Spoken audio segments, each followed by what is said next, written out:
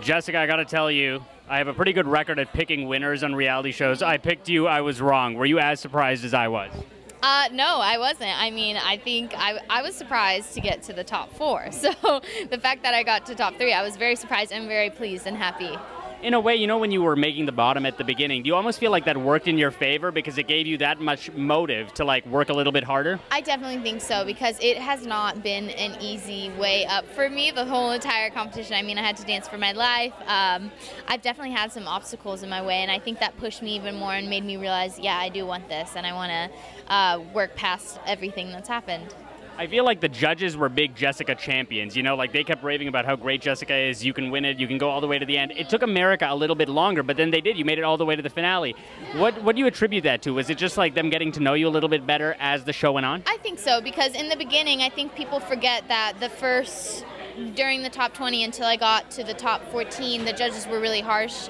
Not harsh to me, but they gave me critiques, and um, I didn't deliver enough um, leading up into the 14 weeks. And then I think um, that was, it pushed me harder, and um, I think that it, it really helped me motivate, motivate me, basically.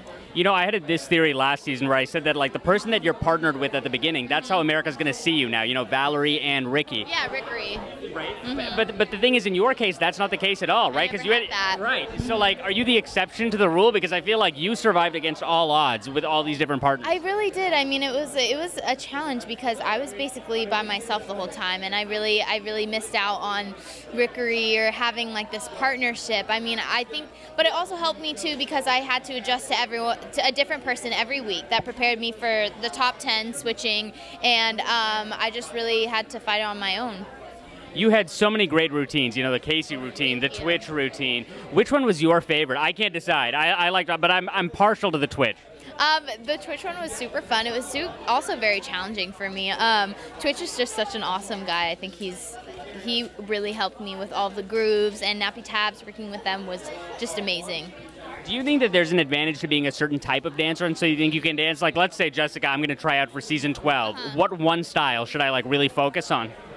I'm not sure. I think um, being able to do ballroom is definitely a plus because I feel I don't know. It just depends if you're technically trained or not technically technically trained. Trained. Sorry, I'm getting tongue twisted. Um, I think it's definitely good to have a ballet base for everything because everything stems from ballet, but also to dabble, um, not even dabble, but really work hard in ballroom and everything else because then you'll be a lot more comfortable and prepared. I think. Now, you know, I have a tradition. Every time I'm here at the So You Think You Can Dance finale, I get the finalists to teach me a dance move. So I'm hoping, can, would you be able, yeah, would you be able to teach me one? I have like pretty yeah. cool shoes. I have pretty cool shoes. Let's think. Okay, those two, those shoes call for some like disco action. Yeah, okay. well, you, you, did a disco, right? Yeah. Okay. Yes. So, um, something really quick. I don't have a lot of skills, Jessica. So went like oh. With your hands up and down okay. and back, down. Okay, wait, do it one more time. And one then, more time. like, your feet go like this. One, okay. two, okay. three. Okay. So you go up, down. This, and wait, my feet are going like this, right? This, oh my gosh, this, down. this is humiliating, Jessica. no. Amazing. Thank you so much. Thank you. Thank you so much.